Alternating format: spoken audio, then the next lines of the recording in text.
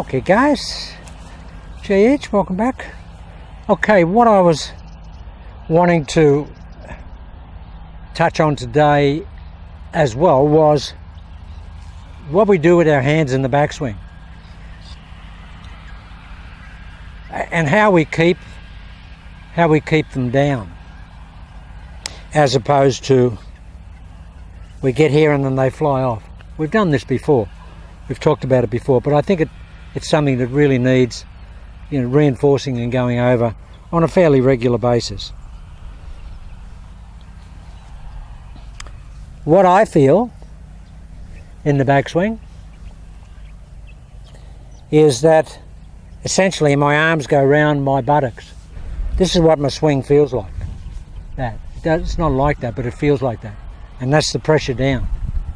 It's the pressure down, but with momentum in the club head.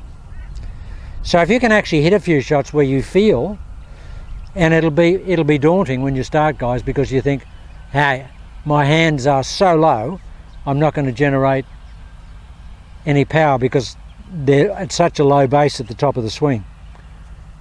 But you will. So if, if you can actually just think about just doing that and have, watch how low this club is at the back, at the top of the swing.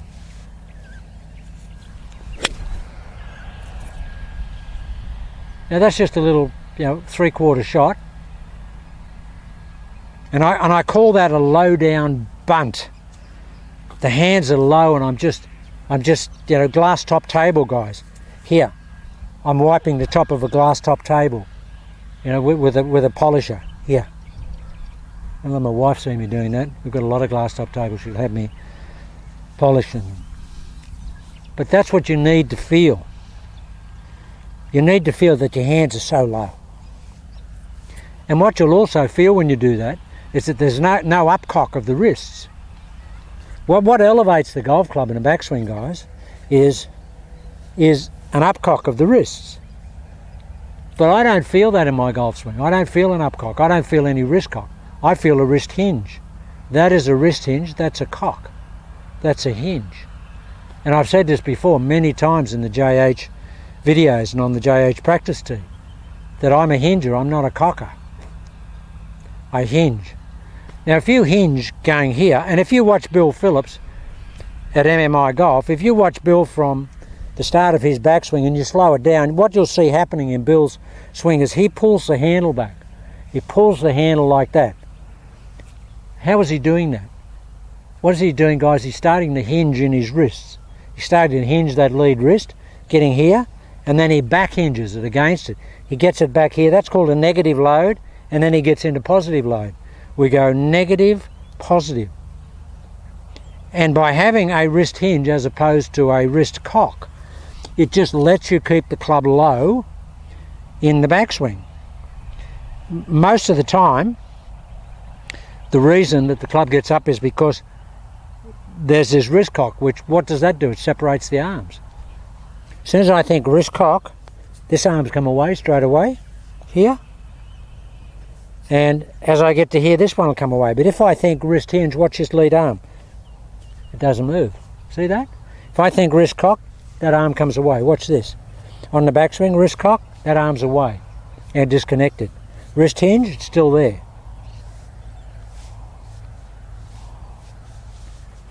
Now we don't want to fire when, when we hinge it back. We don't want to hinge it back so the club gets way behind our forearm here because that'll be hard to get back from there. You just want to get it to there. See, that's still in line, but you want to have that effect. There. It's a paintbrush, guys. And just hit a couple of little half shots.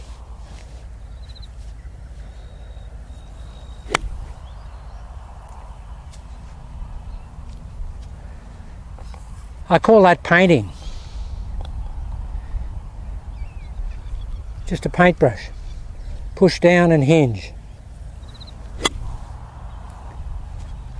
If you did a hundred of those at that tempo, what it does is that it will start to isolate the feeling of that, that trail foot pushing down because when you're swinging really fast and your arms are getting a little flappy and away from your body, it takes away the isolation thinking that you need for that trail foot. Now when I do that there and I do it slow like that, I really do get the, the isolation feeling of that trail foot. Here. So I'm just going to push it down and just hinge. Just do that guys, just hit, see that's, this is a five on that, and that's carried about, with that little, so it's carried about 140 yards with that tiny little golf swing. But that will give you the feeling of keeping the club down and a hinging action. Because as I showed you, anytime we think cock, the arm gets away. We think hinge. And what, what Bill Phillips does at MMI, you watch Bill. Bill goes here, the club, club head stationary, he actually lags the shaft. Bill actually does this.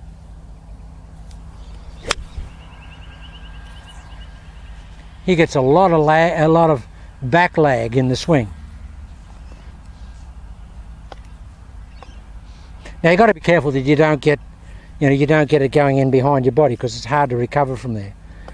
But all we're talking about here is keeping the club down, keeping some pressure down and some pressure on that trail foot. So we'll do a bit of hinging.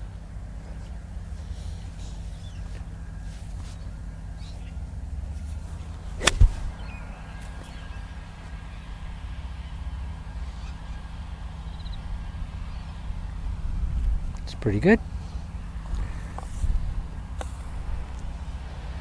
Now guys, it's a constant it's a constant effort. I've been working so hard on this to get to get the five o'clock nose back, to keep the back of my neck in place, to keep some pressure down there.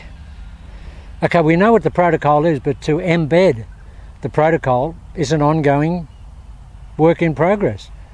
You just got to keep working on it, guys. You can go through the protocol, all the the sequences of it and the parts of it, and your protocol and your numbers and the parts that you associate with your numbers, whether they're four parts, five parts, six parts, or whatever. But you have to constantly reinforce those those parts and the application of those parts. I just find that the that the five o'clock nose and um, keeping the neck in place is tough. It's, it's just hard to do for me, and I didn't realise how much I obviously did try to get out of the the shutdown position uh, with my shoulders before before I now am aware am acutely aware of uh, how much discipline is required to actually keep it back there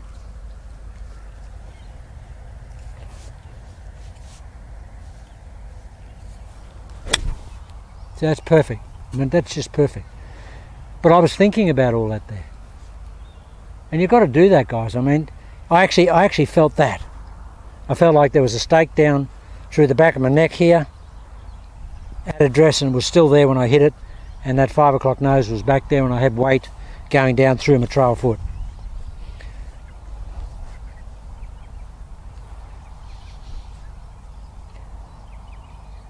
So guys, if it's hard for me, I can imagine how hard it is for you guys. I get a lot of time to do it. So people that only have, you know, a minimal amount of time or once a week, or once every couple of weeks, you know, I, it's tough, guys.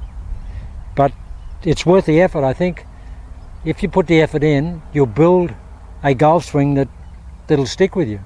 The good thing that's interesting is that whenever you see any people trying channel lock at the moment, even as rudimentary as they may be, they all look the same.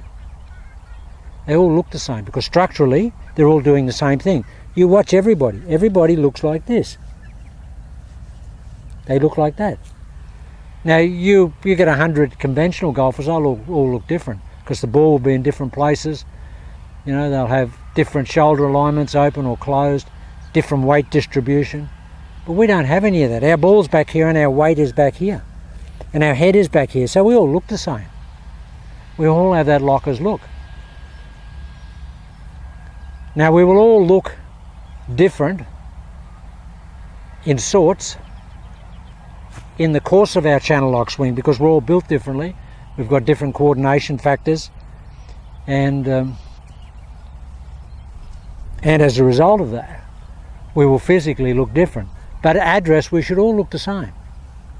And and I've noticed with with everybody, and particularly the guys that that Bill Phillips at MMI and uh, Matt Gray set up to the ball, they all look the same. They all look the same. And even the people out here, when I go through the protocols with them and set them up, they look the same. So you'll be able to see a locker, you know, 40 yards away. So he's a locker because he looks like we do. We should all look the same. Okay, guys, just a couple of things that I think might be uh, might be of um, of help to you. Have a look at that and shoot me off some comments. That's what the channel's about.